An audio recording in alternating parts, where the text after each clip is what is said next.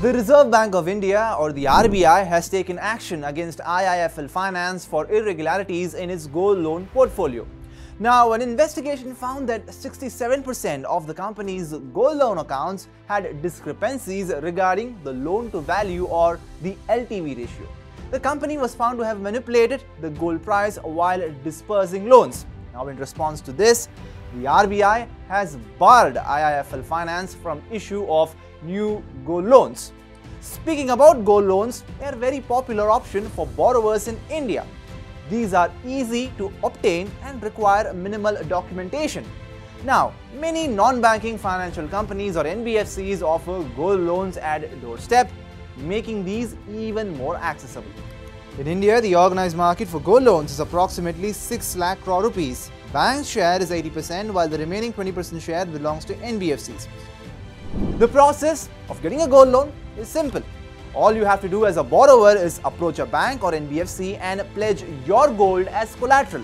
Then the lender assesses the value of the yellow metal. Then the financial institution or say the bank or the NBFC disperses a loan of up to 75% of the gold's value. In RBI's recent action, it has come to light that IIFL undervalued gold while disbursing loans. The NBFC accordingly sanctioned lower loan amounts. If the customer failed to repay the loan, the company auctioned the gold, making profits from its actual value. Now, before you take the loan, it is important that you get the gold, uh, gold valued independently. Why is that? Because you see, that will help you ensure that you get a fair deal from the lender. Now, these days, many institutions like Tanishq and Kalyan Jewellers give free gold valuation services. You will also get a receipt for that as well. If a finance company assesses your gold at a lower price, be cautious.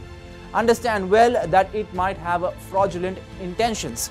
If you take a loan from such a company, they might manipulate interest and penalties levied. There is a significant difference in the interest rates of gold loans of banks and NBFCs. For instance, Government banks offer gold loans at 8.65% to 11% while private sector banks like say uh, Axis and HDFC charge 17% annually. Meanwhile, NBFCs on the other hand charge interest rates of up to uh, 36%. Similarly, there is a significant differences uh, or a difference in the processing fees as well. SBI and Canara Bank charge processing fees of 0.5% or up to a maximum of 5000 rupees on the loan amount. Meanwhile, NBFCs charge processing fees of 1% or even more. If you do a little homework, you can save a considerable amount of interest every year. Gold loans usually have a tenure of up to 3 years. There are several options available for repayment as well. In the first option, you pay interest every month. You can repay the principal at the end. In the second option, interest and principal are combined uh, to calculate the EMI. You pay it every month. Some gold loans offer the bullet payment option. For example, if you have taken a loan of 1 lakh rupees and the annual interest amounts to uh, 10,000 rupees, you can repay the entire 1.1 lakh rupee at once and retrieve your gold. You can choose the option according to your convenience.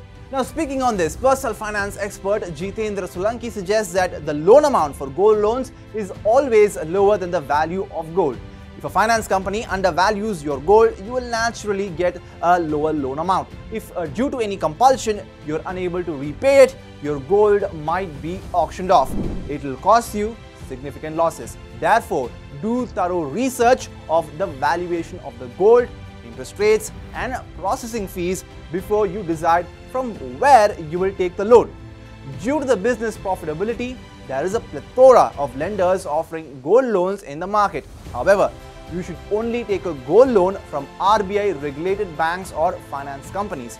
Choose the loan amount and options based on your repayment capacity.